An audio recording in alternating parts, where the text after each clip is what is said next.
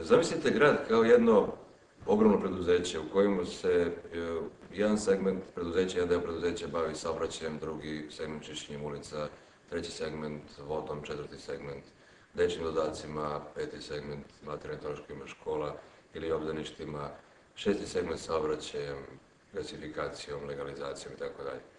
To je preduzeće u kojem svaki građanin ostvaruje svoja prava, ima svoje obaveze, svoje prava, svoje nadležnosti. I onda se zapitajte da li vam je sve jedno ko će tako preduzeće da Neće to preduzeće da vodi ni Boris Tadić, neće to preduzeće da vodi ni Tomislav Nikolić, ni Vojislav Polica, niti bilo koji lider stranaka. To preduzeće će voditi ljudi davde iz Pančeva. I kako je bitno ko to preduzeće vodi i ko su ti ljudi.